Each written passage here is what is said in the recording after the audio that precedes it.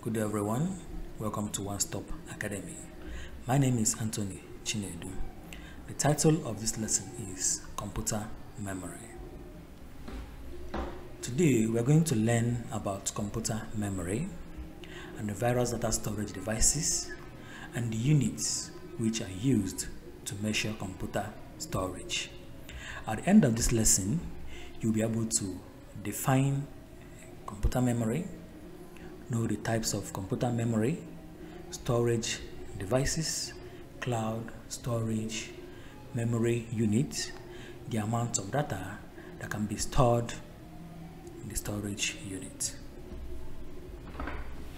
Computer memory.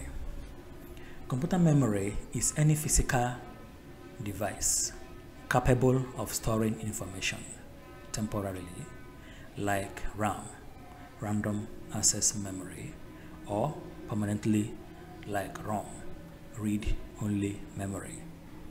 Memory devices utilize integrated circuits and are used by operating systems, software and hardware. The memory of the computer is divided into two categories, the primary memory and the secondary memory. Primary memory. This is the main memory of the computer. CPU can directly read or write on this memory. It is fixed on the motherboard of the computer. Primary memory holds only those data and instructions on which the computer is currently working on. Primary memory is further divided into two types, the RAM, random access memory, and the ROM, read-only memory. RAM is a temporal memory. The information stored in RAM is lost as the power supply to the computer is turned off. That's why it is also called a volatile memory.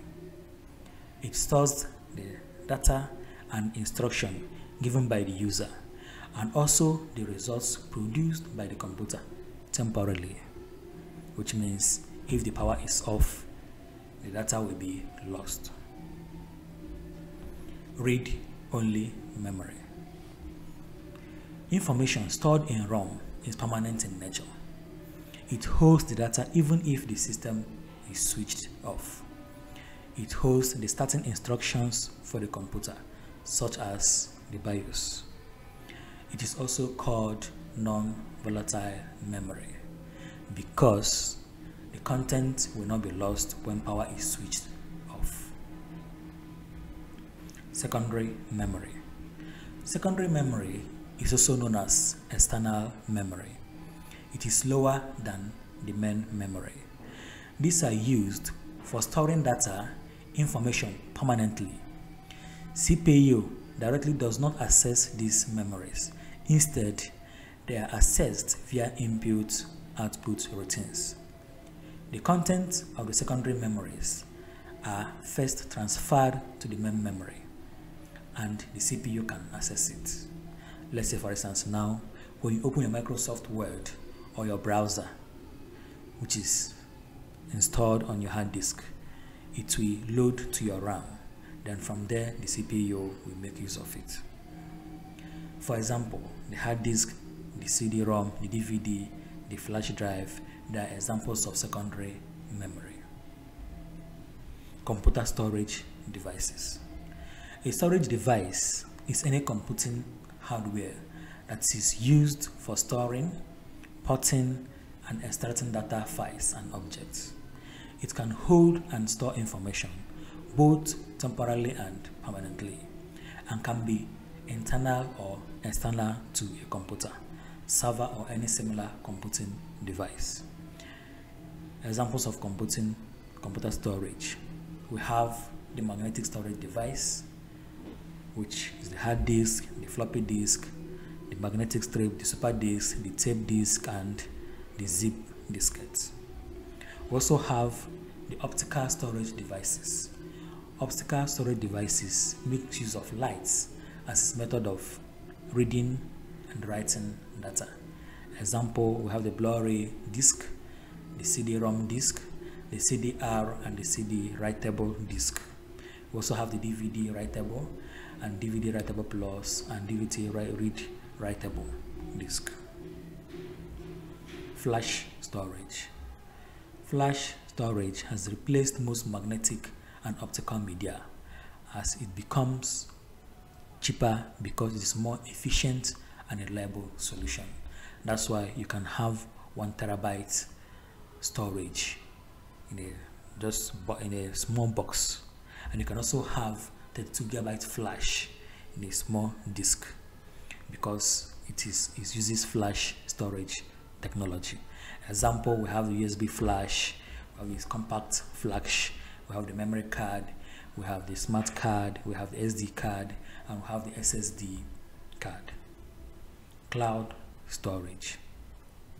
Cloud storage is file storage in the cloud. That's online. When you store your files online it's called cloud storage. So instead of keeping your files on your local hard drive your external hard disk or your flash you can save them online. Cloud storage is helpful not only when it comes to backup but also for security and the ability to easily share files with others or access them yourself from anywhere using your phone, your tablet, or any internet-enabled um, device. So examples of personal cloud storage um, platforms, we have the Amazon Drive, we have Google Drive, we have Microsoft OneDrive, we have um, Apple iCloud, we also have Dropbox. We have a lot of them, but these five are the popular ones. And if you have a Gmail account, you have access to Google Drive. And when you access your Google Drive, you have 15 gig of free online storage. And one of the advantages of storing your documents online is it's safe. You can access it from anywhere, anytime with internet-enabled device. And you can easily share files and folders with your friends and family easily when you store them online. And in any case you lost your personal device, such as your laptop or your phone, your documents are saved online. So if you have not, if you don't have any cloud storage, I will advise you open a Gmail account and you have 15 gig free storage. Memory unit. Memory unit is the amount of data that can be stored in the storage unit.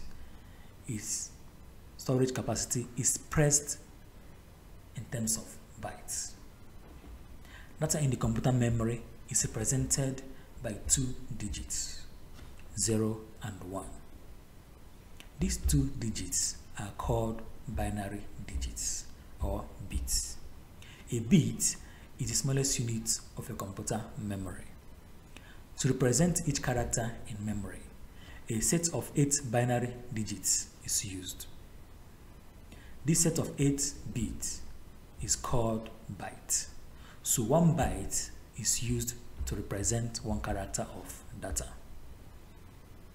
8 bits makes one byte. To represent a large amount of data in memory, higher data storage units are used such as kilobyte, megabyte, gigabyte, and terabyte. But all these units are formed with a set of bytes, which is 8 bits makes 1 byte. The following table explains the main memory storage units. So we say bit. A bit is a binary digit. It's a logical 0 or 1, representing a passive or an active state of a component in an electric circuit, which is 0 or 1 can be on or off. 0 represents off, while 1 represents on. Then nibble is a group of 4 bits. It's called nibble. Then byte, a group of 8 bits is called byte. A byte is the smallest unit which can represent a data item or a character. For instance, if the computer wants to save the, the alphabet A, it needs 8 bits to be able to save A on the memory. Then word. A word like a byte is a group of fixed number of bits processed as units, which varies from computer to computer, but is fixed for each computer. The length of a computer word is called word size or word length. It may be a small as small as 8 bits or maybe as long as 92 bits. A computer stores the information in the form of computer words, that's word count. Higher storage units. We have kilobytes. One kilobyte is equal to 1024 bytes and one megabyte is equal to 1024 kilobytes. 1 gigabyte is equal to 1024 megabytes and 1 terabyte is equal to 1024 gigabytes. 1 petabyte is equal to 1024 terabytes. And now we will measure computer speed or download speed. We measure it in bits. While when we're talking of storage, the amount of data that can be downloaded over the network, we measure it in bytes. So when you talk of computer storage, we measure it in bytes. But when you talk of internet speed, download speed, we measure it in bits. That's B-I-T-S. But bytes, that's of storage, the spell we write it in capital letter, which is B-Y-T-E. Thank you for watching this lesson. If you have not subscribed to our channel, click on the subscribe button.